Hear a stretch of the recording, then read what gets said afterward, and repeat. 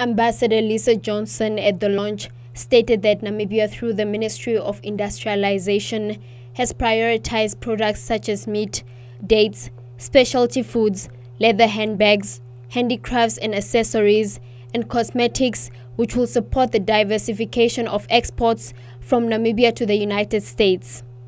Ambassador Johnson adds that the embassy has also brought on board associations such as the Namibia Network in Cosmetics Industry, the Namibia Charcoal Association, the Namibia Manufacturers Association, and the Namibia Chamber of Commerce and Industry to assist export-ready firms.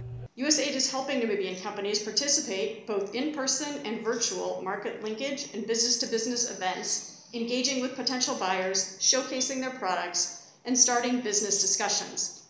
These linkages have already led to export deals for Namibian firms. For example, in 2019, USAID supported Meatco in participating in the Summer Fancy Food Show in New York in the United States, where Meatco met Valley Foods, a US buyer, and the rest is history. This led to the first export of Namibian beef to the United States in 2020. Minister of Industrialization and Trade, Lucia Iipumbu, noted that Namibia's total trade with the United States has shown a stagnant growth over the past 10 years, adding that in 2019, Namibia's overall exports to the United States market were valued at 1.97 billion Namibia dollars, accounting for only 2.9% of Namibian exports to the world. The main products, as were related to earlier on, are uranium for now, diamond, and artwork. The strategy, however, identifies priority sectors and categories that we need to focus on going forward.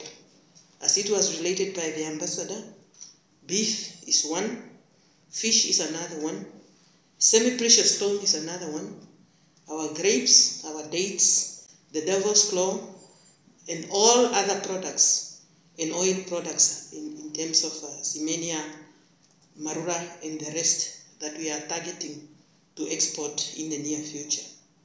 The just launched strategy and action plan provides a prioritized roadmap on how Namibia can increase its exports, further recommending steps to address policy, supply and market challenges faced by potential Namibian exporters.